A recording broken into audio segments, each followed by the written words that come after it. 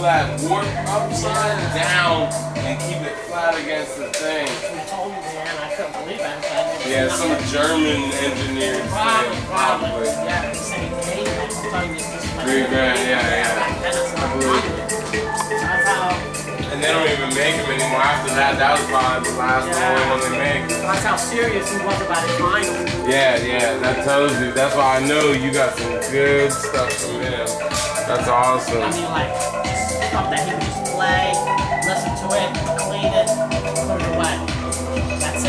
I mean? He wasn't like, you know, how we do, play records you know, Yeah, throw on that shit. uh, This is lucky if it makes it back in the right sleeve at my house. Like, he's a house. So then he was I didn't really know much about that. So, I play the records and he just schooled me about it, you know. Yeah, Ron Carter played bass on this, and he also played with Herbie those Hancock. records back then, you could just go in the magazine and there was a whole bunch of like stuff back in the brief. Not like something like this. Something that tell you about. Now you open it up, and then it had like each song. Each song had like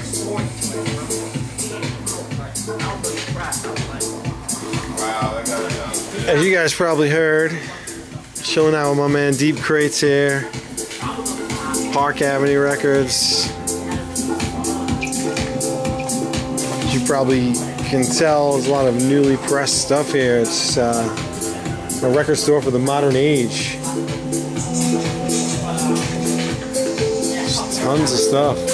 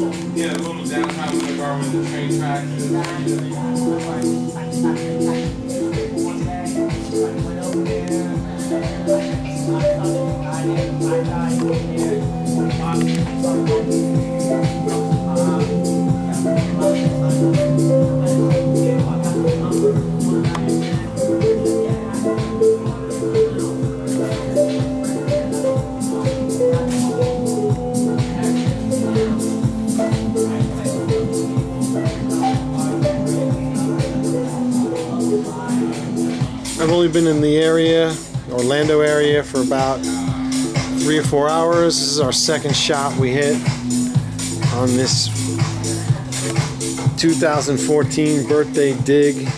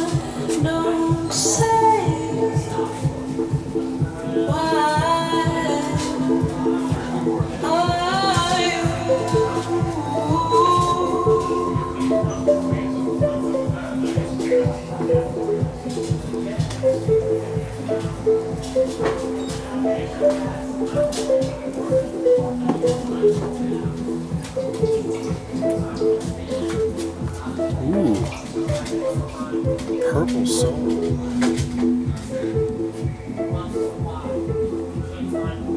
I'll have to get that.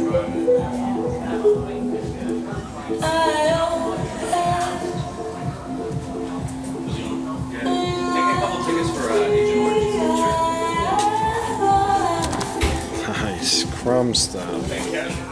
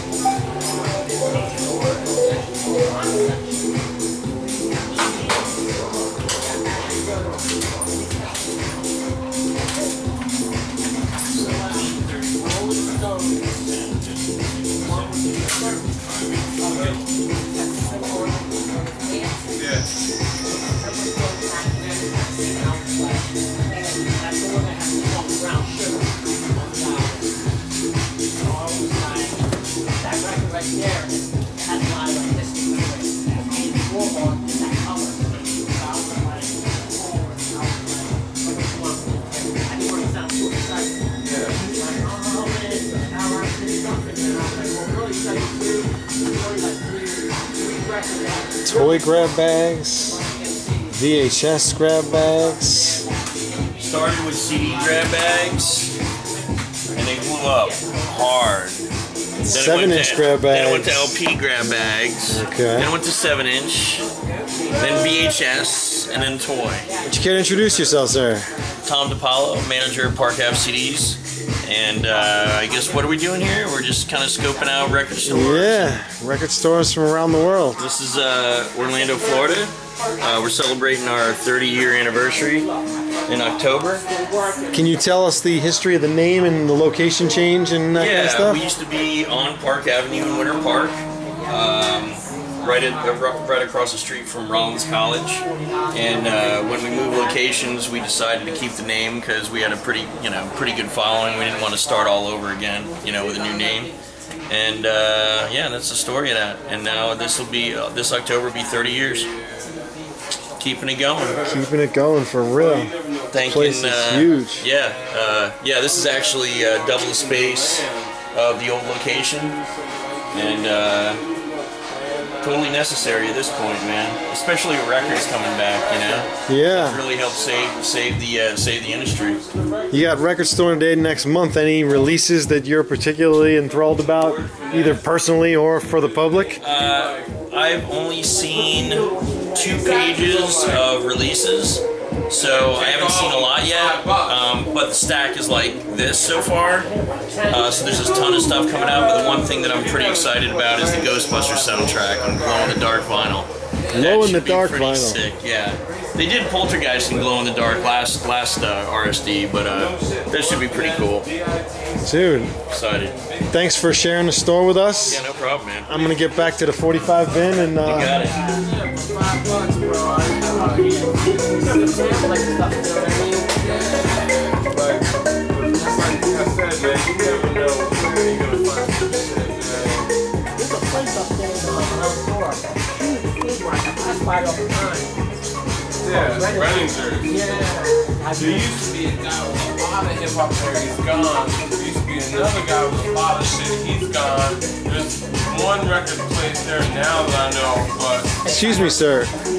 I don't mean to interrupt, but I was wondering who are you having a conversation with?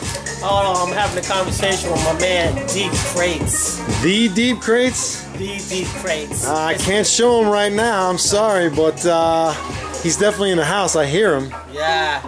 Yeah, it gets no deeper than that, man. It's no deeper than that. So you're a fan of the Crate Show? Definitely, all the time. All the time. Like, check out his Can't even stuff. plant people like that. That's how you know it's official. Exactly. I'm sitting there digging, and on he's Spike TV next year, hopefully. he's DJ Funktual Crate Show, half hour spin-off series. for real would. stuff. The Neil Sedaka 8 track. Crates, thanks for taking me here, man.